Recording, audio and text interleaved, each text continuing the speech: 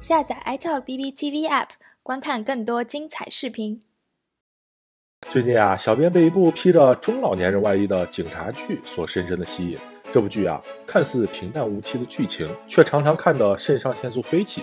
并没有年轻人的情爱啊，却又时常被感动到眼角挂水滴。民间都传是接档高分警匪剧《猎狐》，但小编看了几集这部新剧，发现这却是一次实实在在的超越呀！不卖关子，今天我们就来说道说道这部由陈建斌、董勇和郝平主演的刑侦经侦缉毒大剧《三叉戟》。这部《三叉戟》是根据同名小说改编而成，原著就已经获奖无数，好评如潮，可见这部剧的底子就不会太差。再加上三位老戏骨的演绎，这下就西红柿遇上了鸡蛋，成了名菜了。三叉戟就是这老三位的代号，分别是由陈建斌饰演的大背头，董勇饰演的大棍子，以及郝平饰演的大喷子。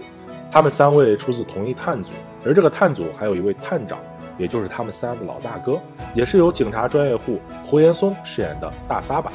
探长负责后勤。另外三位则负责冲锋陷阵、破案杀敌。由于功勋卓越、屡破奇案，所以公安系统称这哥仨为“三叉戟”。而本剧的故事就是从他们曾经的探长大撒把在退休前最后一次出击任务中被歹徒刺杀开始的。老大哥的突然离世，激起了三叉戟重出江湖的斗志。而在此之前，他们三人像是生了锈的武器，散落在仓库的角落，无人问津。大背头成了后保处的一名老电工，大棍子成了天天背着八大件巡逻的片警，大喷子成了预审支队倚老卖老的摸鱼达人。这老三位重出江湖的第一个案子，便是去抓捅死大撒把的凶手。这其实是一个涉嫌贩毒的案子。主犯在逃跑的过程中，把追他的大撒把一刀毙命，然后藏匿了起来。从这老三位进入专案组，开始参与侦破之时，好戏便上演了。首先，这部剧的叙事方式非常的巧妙，采用现实时间线穿插回忆，来层层剖析三叉戟的人物关系与性格特征。原来这老哥仨并不真的像一把三叉戟，你中有我，我中有你，而是通过一场陈年旧案，我们知道他们已经分崩离析了二十年。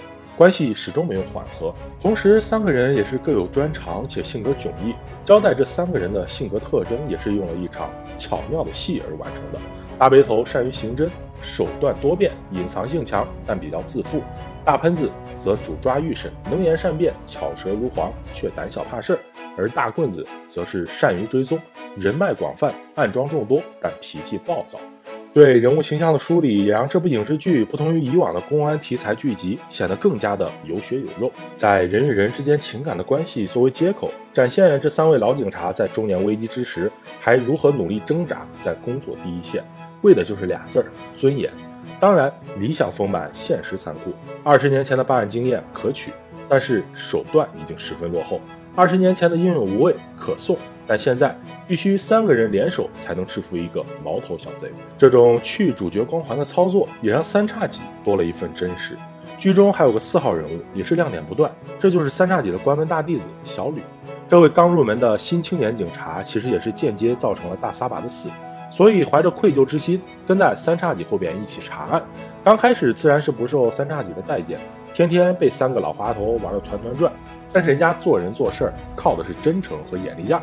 加之小吕的父亲竟是公安队伍的烈士，他从小便成了孤儿，但却一心继承父辈的衣钵。三叉戟一合计，便收为徒弟，悉心培养。三个大佬培养一个小吕，这以后简直可以说是无所不能，未来的吕局长指日可待呀！所以说，三叉戟小编看到现在，既感觉到了人物之间的情，也体会到了办案子的难。就是这份人性与真实，才让这部剧抓人眼球。引人入胜。截止到现如今的更新，三叉戟探组已经先后破获了贩毒案、杀人案、洗钱案，还顺手端了一个卖淫场所。具体案情，小编就不在这里剧透了，还是留给各位看官慢慢品味。但是从这一系列的案件中，我们可以看出，这部剧的剧情非常的丰富。用个洋气的词儿来说，就是犯罪观很宏大，不像以往的公安题材，要不然就是专管刑侦的重案六组。要不然就是专管缉毒的破冰行动，亦或是专抓刑侦的猎狐。在三叉戟这里，这几种类型的犯罪行为都能跟你打上交道。现实中或许就是这样，犯罪也是因为有一系列的利益链条，通过一个案子牵扯出来一连串的案子。新闻报道里也是经常这么演的。看剧情简介里讲，最后还会有一个金融犯罪集团被一举歼灭。案情进行到此，感觉金融集团的冰山一角已经逐渐浮出，小编很是期待，势必要把这部良心剧一追到底。还没有开追的朋友们，有空去瞅一眼吧。如果您喜欢本期视频，请关注、点赞并分享，下载 App 解锁更多功能。我们下期再见哦。